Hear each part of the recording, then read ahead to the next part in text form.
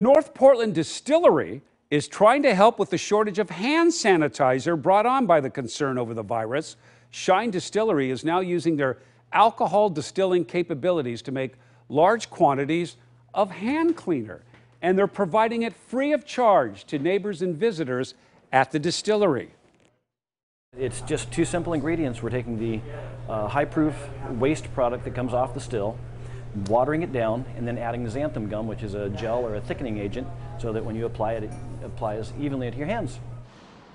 And get this, they're able to make several thousand bottles and plan to make as much as they can if there's a demand. To be clear, they're not calling it hand sanitizer and they make no medical claims about the product. And we have an entire section on KOIN.com dedicated to the coronavirus, including facts, myths, and exactly what you should know.